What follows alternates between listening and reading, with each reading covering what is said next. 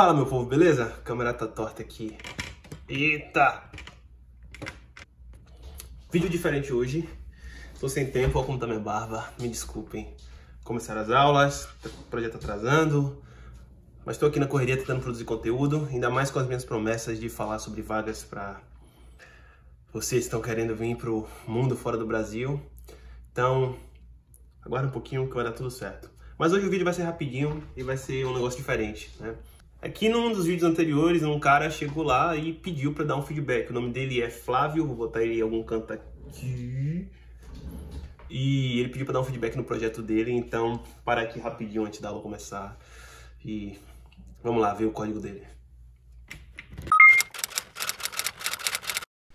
Então tá bom. Tô gravando aqui, deixa eu botar meu mic agora aqui para cima, que agora eu tenho um microfone bacana. E vamos aqui já direto. Tá aqui o comentário dele. Ele falou o seguinte: Tamo junto, parabéns pelo conteúdo. Valeu. Moro em Londres, estou mudando de carreira para desenvolvedor web com Python. Pô, da hora. Você já está em Londres, está mudando de carreira.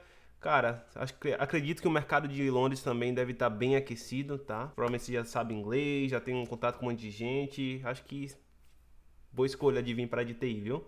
Estou no processo de criação do meu portfólio e, opa, deixa eu botar isso aqui para eu para eu ficar, para eu ficar aqui, ó, no centro. Rapaz, agora eu posso mover tudo, o monitor vem para perto, eu tô besta com o meu setup. Inclusive, se vocês quiserem ver, clica aqui nesse link aqui para você ver o meu setup. Mas enfim, atualmente estou com um blog com deployment na AWS, da hora, já está aprendendo um pouquinho de infraestrutura. Trabalho em dois projetos pessoais de e-commerce, sendo uma loja de brigadeiros utilizando o sistema de pagamento Stripe, da hora, já está integrando com gateway de pagamento muito bacana, provavelmente já está aprendendo a consumir APIs, já, já deve saber, né? Consumir APIs REST, entendendo o protocolo de segurança, vendo como é que funciona esse negócio de você tratar uh, cartão, criptografia desses dados sensíveis da hora, né? Ou pelo menos abstraindo essa ideia e conhecendo o gateway que provavelmente o Stripe fornece para você um SDK, mais sucesso, você vai ter que, nem, nem que seja superficialmente, você tem que entender um pouco sobre isso, né? Então, da hora. Uh, e outro, uma loja que vai precisar consumir uma API, outro requisito, da hora. Gostaria de saber se pode me dar um feedback do meu processo, dizendo sua opinião. Segue o meu blog e GitHub, onde tem uma base do código para e-commerce para a loja de brigadeiros. Então, vamos lá. Para ser sincero com vocês, não vou mentir, obviamente, eu já entrei no blog dele, o GitHub ainda não olhei, tá? Já entrei no blog dele, já dei uma olhadinha aqui, vou clicar para vocês verem. Então, é, é um blog FL4Dev, da hora. É, parece ter um conteúdo sobre Git, GitHub, tecnologia. Não achei aqui nesse blog nenhum conteúdo ainda que eu, né, que eu esteja aprendendo. Por exemplo, Django, eu não vou ler nada sobre Django porque eu não uso Django para trabalhar. Mas para vocês que são do mundo de Python aí, dá lida e dá um feedback pro Flávio, né?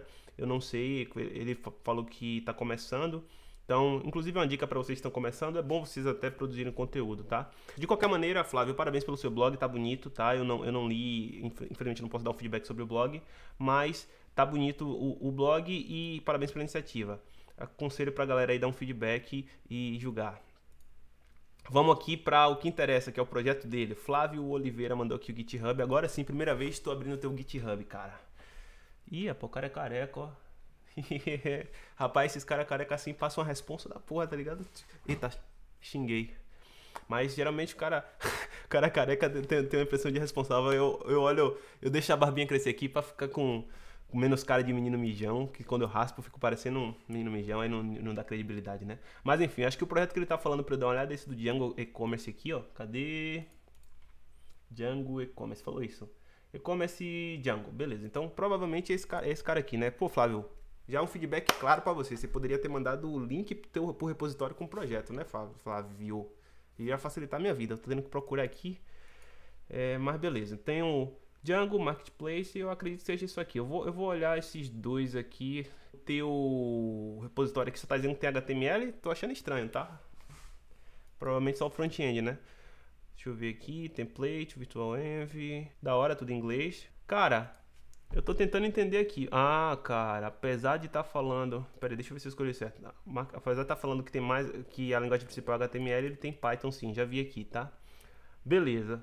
De cara aqui o projeto é, eu não sou muito do, de Python, mas eu, eu toquei alguns projetos com Django e, e, a, ordenação, a organização da, da árvore né, de, de, de, pastas e arquivos que eu vi geralmente é um pouco mais é, seguindo o MVC da vida, aí você tinha tipo a divisão de view, model, controller, frameworks, libraries, uh, assets que você importa estaria um pouco mais separados. Então, um feedback para o teu projeto, tá?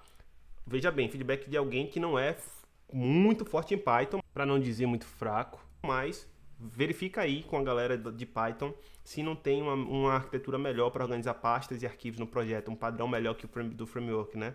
Eu não sei se o framework impõe isso para você, mas geralmente, sei lá, o pessoal do PHP, o pessoal de .NET, o pessoal de Java, os frameworks que a gente utiliza, eles forçam a gente a utilizar uma estrutura de, de pasta né, e arquivos. Força entre aspas, né? Sugerem uma, uma, estrutura. Não sei se o Python. No JavaScript é uma bagunça.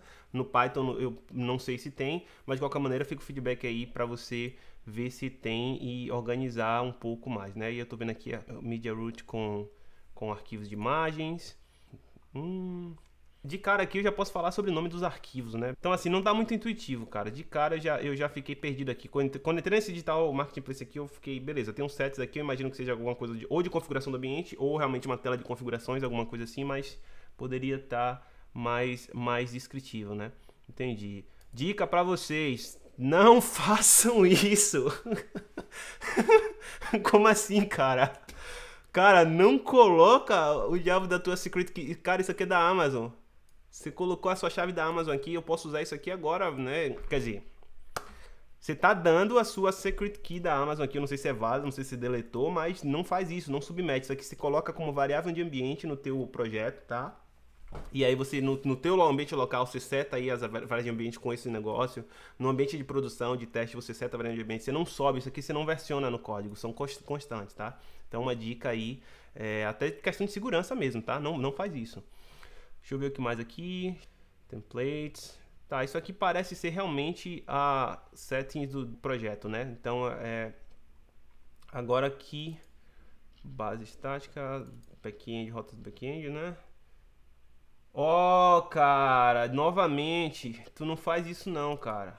Beleza, né? PK teste, PK teste, tudo bem, tá testando. Mas não faz isso, galerinha, não façam isso. Isso aqui é brecha de segurança. Se tu não deletou ainda é, esse negócio lá no teu repositório no, no, no Stripe, se você não deletou o aplicativo da, na Stripe, no Stripe lá, eu ainda posso usar essa chave daqui, conectar, fazer pagamento, o que é que seja, né?